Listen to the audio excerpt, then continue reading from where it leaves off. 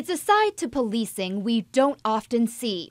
A woman surrounded by officers sobs into a tissue at a Manhattan Whole Foods. Her tears, ones of pure gratitude. It was a very beautiful, genuine moment. Paul Bozomowski is the shopper who posted the moment to Twitter. He says store security had detained the woman for shoplifting, but then the NYPD stepped in. She was extremely emotional. She couldn't speak. She just looked at me and said, Thank you. The three officers were working the 4th of July detail near Union Square when they walked inside Whole Foods to get something to eat. As soon as they stepped inside the doors, they say a security guard waved them down.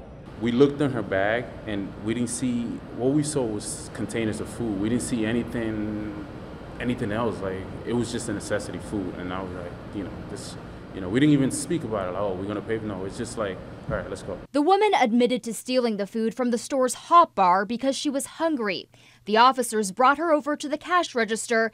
All three of them then pitched in $10 to pay for her meal. When you look at someone's face and you notice that um, that they need you and they, they, they're actually hungry you know, it's pretty difficult as a human being to walk away from something like that. The photographer who captured it all says it's not just the woman who was touched.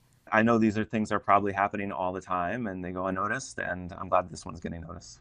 The photo documenting this moment of kindness has indirectly touched thousands across the city, too. In Union Square, Christina Fan, CBS 2 News.